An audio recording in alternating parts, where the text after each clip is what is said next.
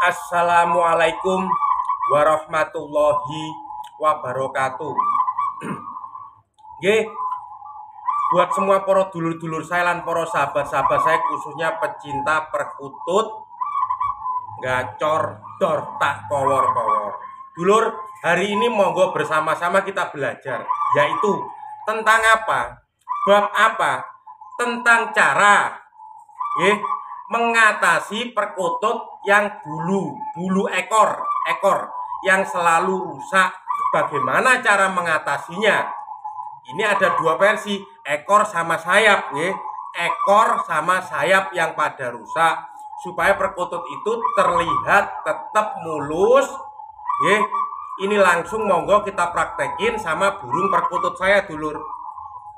Perkutut saya ini, ini yang bernama singo. Dia ikut saya dari saya masih istilahnya masih sekolah dulu. Berapa puluh tahun.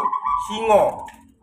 Oke, ini perkutut singo ini ini dulu sudah mantannya lomba gacung gacor ke mana-mana pokoknya asal dipanggil singo lodro itulah perkututnya Moab dulu ini langsung buat praktek gitu lur ya cuma mohon maaf perkutut ini sampai kapan pun dia bersifat agak giras alias jinak-jinak merpati dari saya masih sekolah ini jinak. Monggo sekarang kita saksikan bersama-sama caranya. Kita pegang dulu. Nah, si singo ini perkututnya gampang ini dulur. Gampang namanya? Gampang ini loh, giras. Nih, sifatnya dia. Ekornya gampang patah. Monggo kita praktekin caranya dulu. Tak pegang dulu. Ndak pundi cah ayu. Cara megangnya perlu diperhatikan dulu, pelan. Pada tindak pundi. Nah cara pegangnya pelan begini. Nah begini nih biar biar dulur-dulur tahu. Nah, cara megangnya. Nah ini walaupun kita model kayak bagaimana kita harus pelan. Nah terus tapi tangan kita jepit beginilah. Nah ini si singo. Nah perhatikan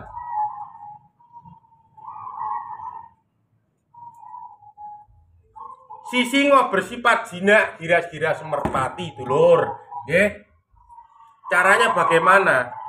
Satu, ini untuk ekor. Ekor harus kita gini dulu.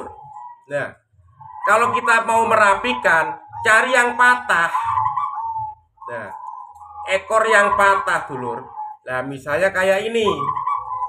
Ini walaupun panjang tapi patah dulu.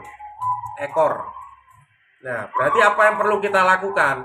Ini harus kita tarik gluk kita cabut tidak apa-apa. Fungsinya apa kalau ekor dicabut? Jadi gini dulur. Ekor yang rusak ujungnya ini tidak nobrok sama ekor lainnya. Maka ekor lainnya akan tetap mulus seperti ini. Nah mulus toh? Loh mulus. Loh mulus. Loh mulus. Yang patah harus kita cabut maupun pagi maupun malam tidak apa-apa Nah nanti kan ini takut lagi, Kangmo. Nanti perkututnya stres tidak. Kalau perkutut belum terbiasa, paling stresnya cuma beberapa hitungan menit. Kalau kepegang kita nggak apa-apa, nggih. Tapi kalau perkutut sudah terbiasa nggak stres. Ya kita taruh lagi, nggak stres. Nah terus kita cariin lagi begini dulur. Nah yang patah, kalau nggak ada yang patah, yang ini kan bekas saya cabutin kemarin toh, yang pada patah-patah begini. Nah itu satu. Kedua, perhatikan di sayap kalau untuk sayap, sayap tidak usah dulur. Sayap misalnya ada yang patah, kita ingin cara merapikan gimana? Kita cari gunting. Misalnya ini satu nih patah. Kita gunting satu jerat, habis kita gunting kita sulut rokok.